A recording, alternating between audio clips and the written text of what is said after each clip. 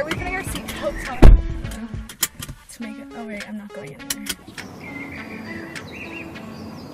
I'm getting like cleavage sweat. I'm right just now. getting my hand. Look at my hands. Mountain Dew jet. I don't know how someone could just leave their dog in here. Like that's brutal. I know. Dogs, dogs have like so much fur. Skin. Like if we're this hot, they must be like. Oh. And like babies too. Like exactly. no babies worst. No, there's And no like- sign of them actually like. And they're so sensitive too towards like anything. Like my hair's frizz now. I think I'm melting. And um, My skin. Your Audi is so hot.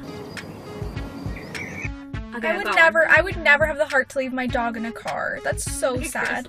We've been in here for approximately 11 minutes and 30 seconds. We'll go in grocery stores for like Half an hour, hour, at an hour. least, right? It's just crazy how we're already like this and I'm like just about ready to get out and dogs and like kids and stuff have no way of saying how they're feeling and stuff and Like they can't just get out if they want to. Like we can literally just get out whenever we want.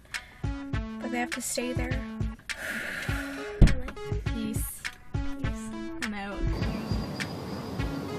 Why is that girl wearing a sweater? holy sweat on the seat. I'm starting to get a really bad headache. Really? Yeah, I'm getting it. I can't. Really? Yeah.